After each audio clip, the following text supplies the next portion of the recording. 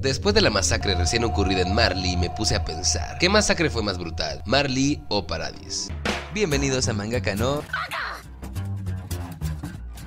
Últimamente todos están llamando villano a Eren, y con gran razón. Ya casi me pongo al corriente con el manga y ese güey se puso oscuro y radical. Un personajazo por parte de Isayama. Viendo esta evolución me cuestioné varias cosas, pero uno de los puntos que más me trajo fue ¿Dónde se originó este Eren oscuro? Definitivamente el día de la masacre en el distrito de Shiganshina. Sobrevivir ese día fue sobrevivir al mismísimo infierno. Así que me puse a debrayar sobre la brutalidad de esa masacre comparada con la recién ocurrida masacre marleyana. ¿Cuál fue más brutal? Para que ese análisis resulte más ameno, dividimos literalmente la pantalla en dos, colocando la masacre de Paradis en la pantalla izquierda y la masacre Marleyan en la derecha. Los puntos a debrayar en este análisis son 1. Antecedentes y el preataque 2. Primer ataque, Titán Colosal de Berkhold y el Shingeki no Kyojin de Eren 3. Segundo ataque, el Titán Acorazado de Reina y el Titán Colosal de Armin 4. La muerte más icónica de cada ataque. Para mí la mamá de Eren y el pobre diablo de Willy, Chibatu Taibu 5. Defensas de la ciudad atacada y por último la destrucción, muertes, consecuencias y repercusiones del ataque en ambas ciudades. Sin más añadir, nos bañemos de sangre momentáneamente y presenciemos dos masacres masivas, frías y planeadas. Y compartamos un poco el área innata de Eren Yeager y su camino por la victoria en esta guerra sin reglas, duda ni moral. Vamos a debrayar.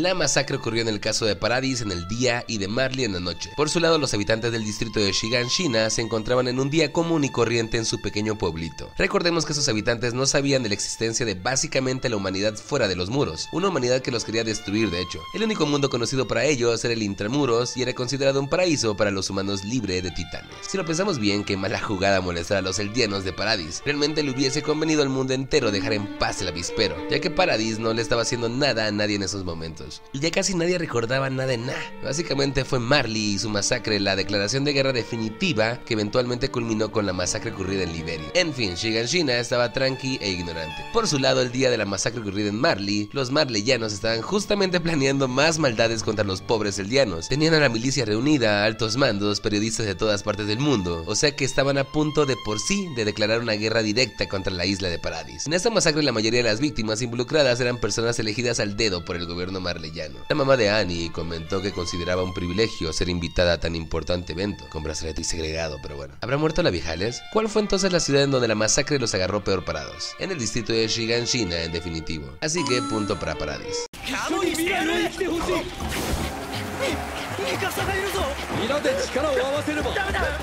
Con respecto al ataque en sí, el que inició el desmadre en Paradis fue el titán colosal de Berko. ¿Se imaginan esa primera impresión en los eldianos al ver esa sombra? Como sabemos, la única misión del titán colosal era abrir una brecha en el muro externo, el más resistente de todos los muros, y dejar entrar por ahí a más titanes bizarros. Es decir, la destrucción causada en sí no fue tan grande, sino las consecuencias de ese ataque. Por el lado de Marley, la aparición de Eren también fue espectacular, sobre todo tomando en cuenta que los espectadores estaban básicamente en medio de una puesta teatral, y ver desde abajo salir a Eren y devorar a Tybur debió ser impresionante. Aparte de devorar al gorito, el primer ataque de Eren se enfocó en los militares y altos mandos marleyanos. Obvio, hubo muchas más víctimas colaterales, pero en su mayoría Eren se la pasó peleando contra las defensas de Liberio. ¿Cuál fue la aparición más espectacular de las dos? El titán colosal siempre, man.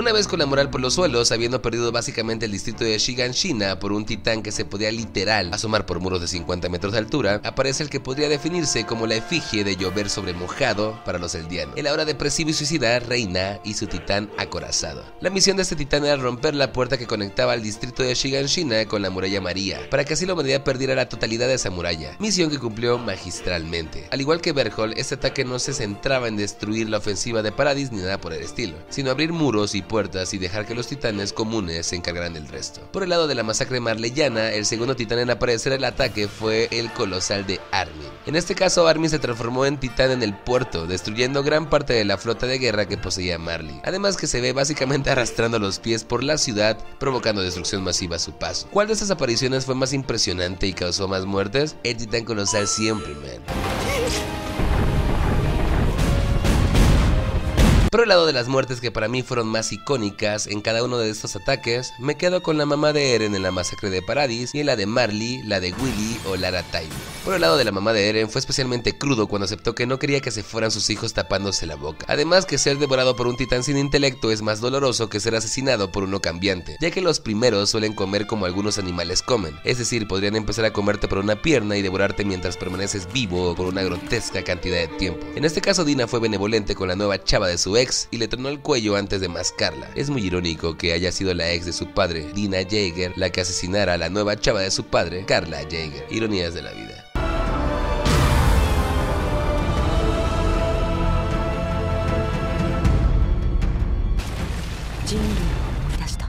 Por el lado de Marley aún no me decido cuál fue más épico para mí, si el de Willy o Lara. Sin embargo, como fue el asesinato de Willy el que quedó grabado para la posteridad, y además provocó justamente lo que él planeaba con su discurso, unir a todas las naciones del mundo contra los monstruos aldeanos, me tengo que quedar con Willy. Devorado en live TV es mejor que en la ignominia.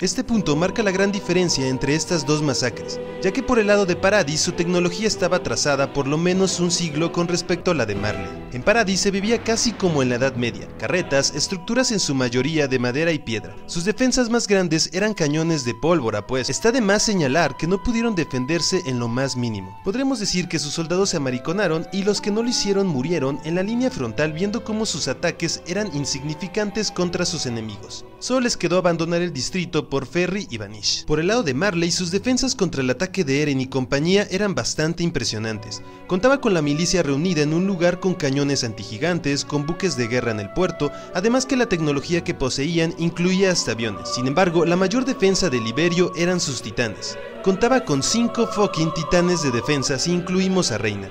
Bueno, sé que no cuenta, pero también causó desmadre. Además que el titán martillo, a mi punto de vista, es uno de los más fuertes que hemos visto, siendo capaz de materializar diversas armas de la nada, además de demostrar una dureza bastante impresionante. Aunado a esto, con Porco como el titán mandíbula y Pieck como el carguero, el equipo ofensivo de Liberio estaba muy completo. Eso solo hace la madriza que recibieron más impresionante y de reconocer para los demonios del paraíso. ¿Quién estaba menos protegida en esta masacre? Paradis nuevamente.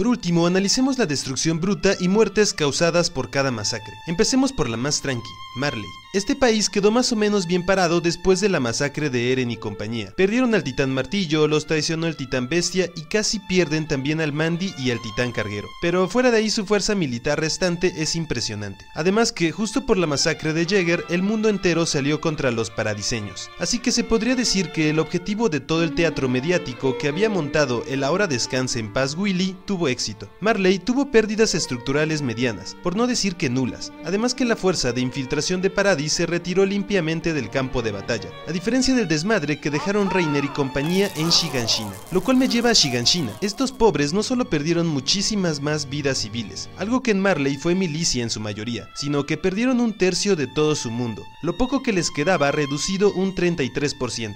La masacre realizada acá fue de titanes sin raciocinio infinitamente hambrientos contra campesinos, mercaderes, niños, etc. ¿Qué habían hecho estos para merecer este cruel destino? Ser eldianos nomás Además que no solo no se pudieron sentar en las ruinas de Shiganshina a pensar en su derrota, no pudieron volver hasta pasado muchísimo tiempo y aún se cobraría la vida de uno de los daichos más hermosos que han existido, Erwin Smith.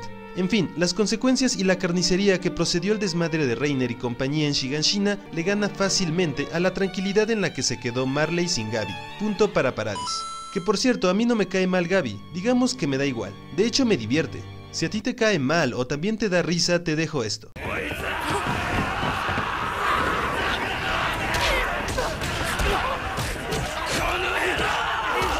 Como conclusión, Paradis se gana absolutamente el título de la masacre más sangrienta de Shingeki no Kyojin. Bueno, en el manga habrá una peor, pero eso es tema para otro de Braille. Eso fue todo en otra página del mangaka Novaka.